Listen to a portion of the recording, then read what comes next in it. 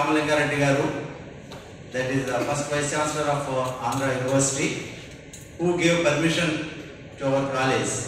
So that in that aspect also, this day is very very important for us also.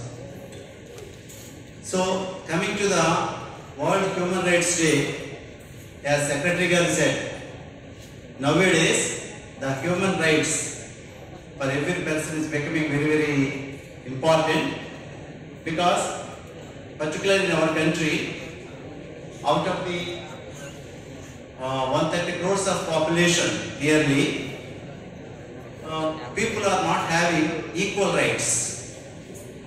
There is discrimination in various aspects